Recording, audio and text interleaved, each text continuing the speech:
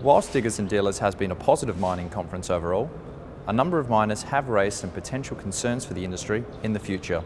Oh, look, I think it's um, gaining investors' um, trust back again and, and, getting investment back into the in the commodities.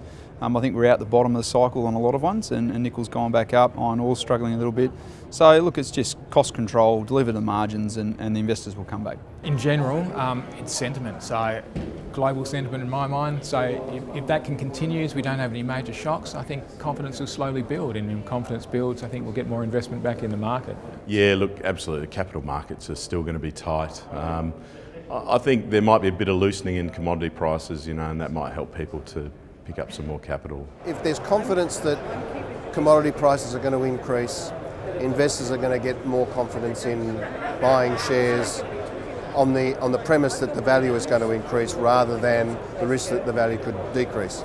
That will be the turning point when when we get that investor confidence turning around from being cautious to being a little bit adventurous. It's very flattering to be asked my opinion, but I'm, I'm more going to talk about what my survey respondents have been telling us, and for them they're saying it's pretty grim.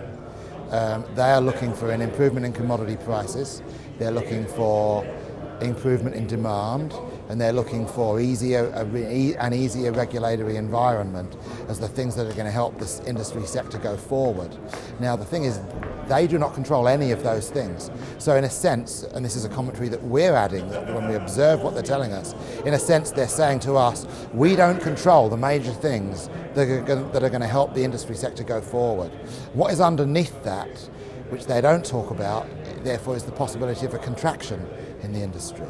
Um, and of course, there are thousands and thousands of jobs being lost across the resources sector uh, in the last two years, and that could be ongoing.